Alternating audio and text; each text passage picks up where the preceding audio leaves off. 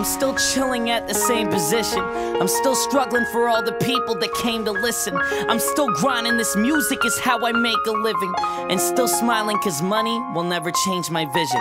It's deep pride, the same as name. Made a living off of putting on some Ray-Ban frames and sitting in front of cameras telling you that I'm real and dope. Living a life I only dreamed of living years ago. Mad kids tried to poke their fun and trash my dream. A lot of girls said I was ugly, it would damage me. I had to let it slide.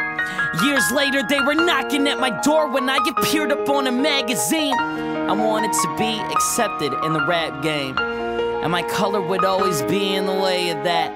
But now I got these rappers following my pathway. And the industry, like, who the hell's this Asian cat? Misunderstood, crazy. And people awfully watch me. Can't even go through the city, some people wanna rob me. And now I don't even play the gangster role at all, so